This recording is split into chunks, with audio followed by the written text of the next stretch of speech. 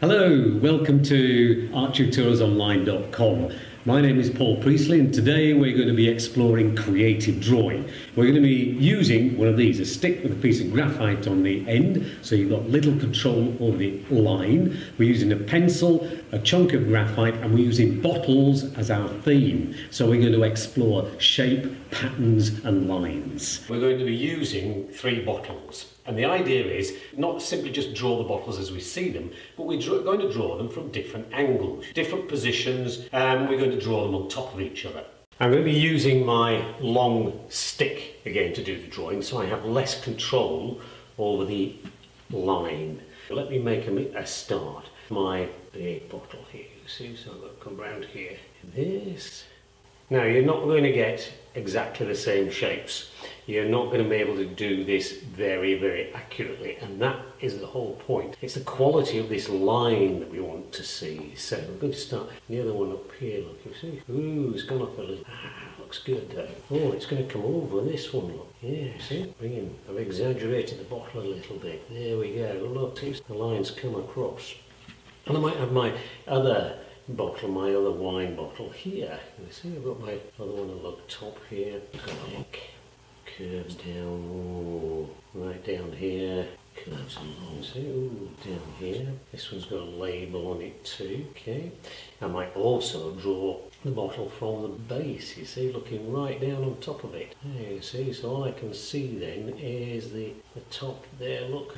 So I might draw the other one maybe from an angle here, this one here, just to give it a little bit curve. There, look, oh, I'm seeing on top of it. Okay. Right, we're going to leave that one there and we're going to develop this further using a piece of graphite, a 2B pencil and a 6B pencil. Now we've got some nice interesting lines here but they're very thick and they're very loose because they've been uh, drawn with a stick.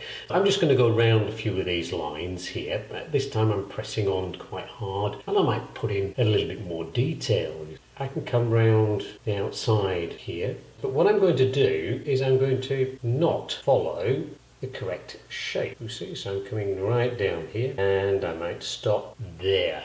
And with this one here, I might again put a little bit more detail in. You see just a few little turns, but this time I might take the line right off the page. You see? So I'm getting a sense of verticality, it's a good word isn't it, to the, the drawing. I might start over here and I'm going to bring this line in and I'm just following some of these lines here. Just begin to just so because this line is so much stronger than the others. You see you can bring it down wobble it a little bit as you come down and it produces an interesting shape and design. We'll take another vertical I think. Um, this time we might start maybe down here and I'm going to come up here. I'm coming along this side here. I might go around my circle coming along here. And come to the middle. I might take around a little bit of detailing on there and take it off the paper again. I'm going to start using my graphite on its edge. So this time I'm going to come around here and I'm pressing on really hard around the edge of my graphite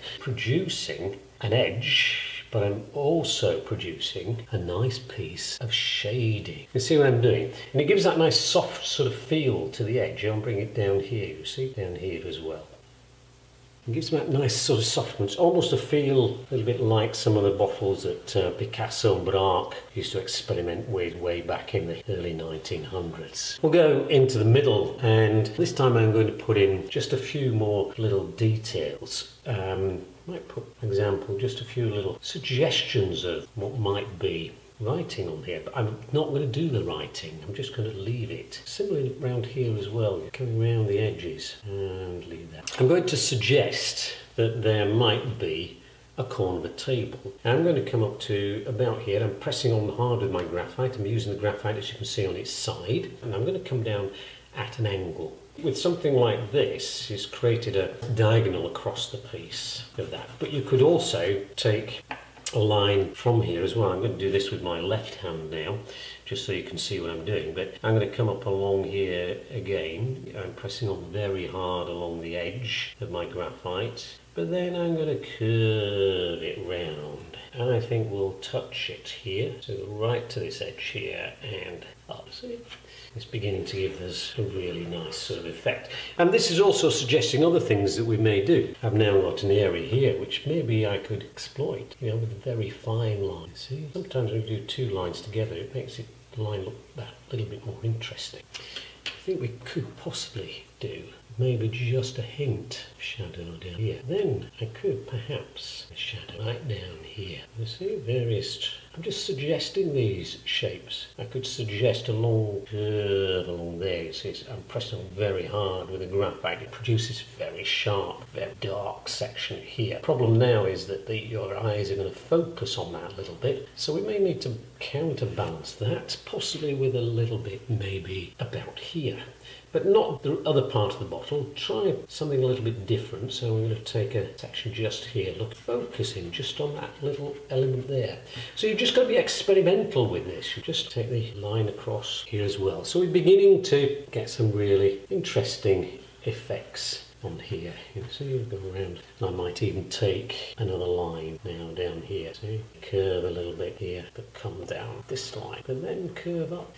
You may introduce just one or two other little elements just to give a little bit of uh, emphasis on just a little touch of pattern. So you might just put a little bit of pattern on one or two of these areas here just to give the drawing a little bit of focus. You might introduce a slightly different line, broken line perhaps. You might use line to suggest a flatness here. You see. Um, you could use the top of this bottle. I'm going around this line here, top of my bottle, but now I'm going to use a very, very faint line and just go round and round and round and round, as you can see here. And finally, I think we might just do a little line, a suggestion of sort of three-dimensional shapes here by just suggesting a little bit of line, but just coming down here. And you might even finish off by bringing it down here. You can just develop these drawings as you will. You've got to use your imagination. Try to get a variety of lines, a variety of marks, a varieties of tone, so you can create some really interesting effects. Remember, you can focus just on certain areas, you see, by just exaggerating the, the tone in maybe just a sweep around here. So this area is just that little bit stronger, and you can produce some interesting ideas. Okay, we'll leave it there. My name is Paul Priestley. You've been watching ArtTutorialsOnline.com. If you've enjoyed the video, then please subscribe to my channel.